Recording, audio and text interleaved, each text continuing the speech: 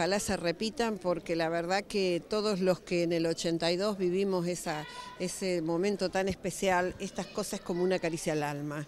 Eh, yo siempre digo que nosotros hablamos tantos los soldados como nosotros hablamos el mismo idioma. Será por eso que no necesitamos muchas veces presentarnos. Fíjate que yo soy la única de Fuerza Aérea hoy con todos ellos y sin embargo me siento como que estoy en mi casa como que si los hubieras conocido de siempre, porque hablamos ese mismo idioma.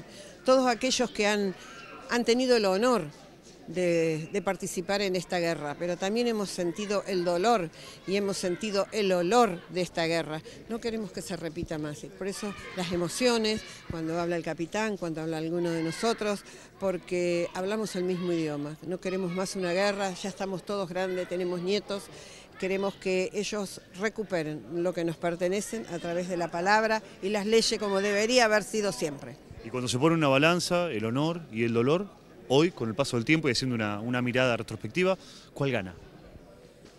Por supuesto que el honor.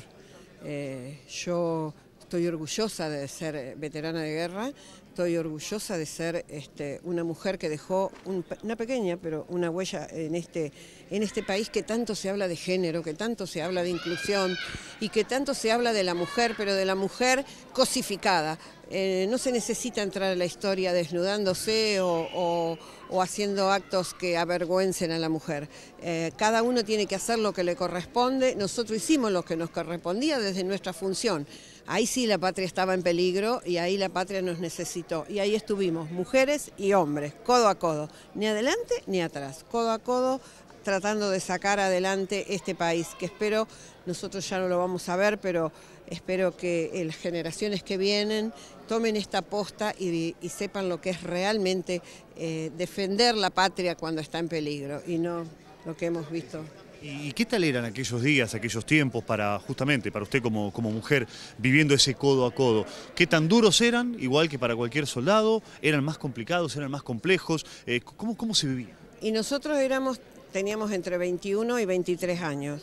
Estábamos dentro de un hospital que se había, había llevado desde Buenos Aires, habíamos ido con el hospital, un hospital reubicable que tiene la Fuerza Aérea.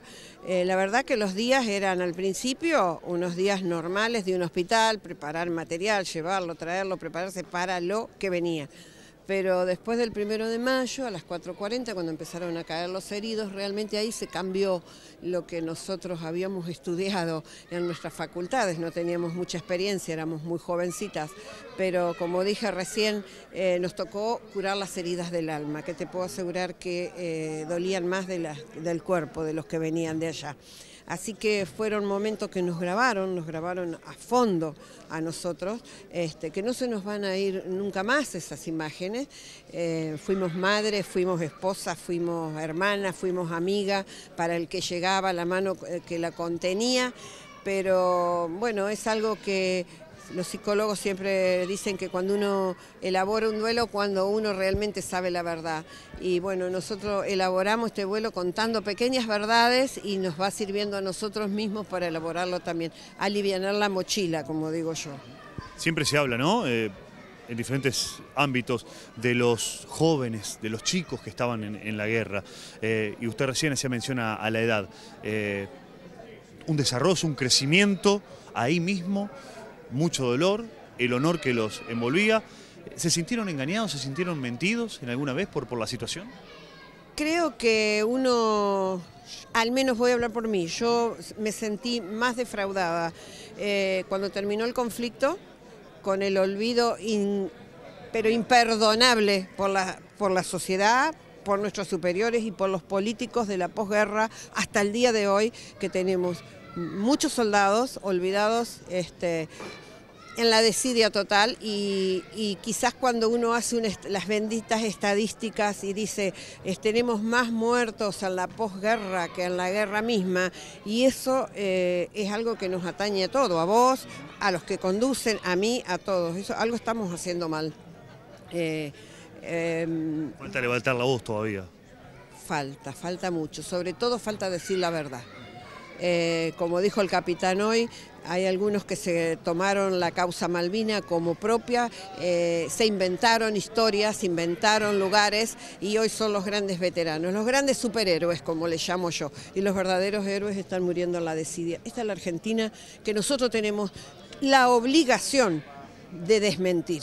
Yo no quiero que mis nietos estudien a un Galtieri como un gran prócer. Yo quiero que mis nietos sepan que los soldados, aquellos mocosos de 18 años, tenían más cojones que los generales y brigadieres que se quedaron en los escritorios y los mandaron ellos a la guerra.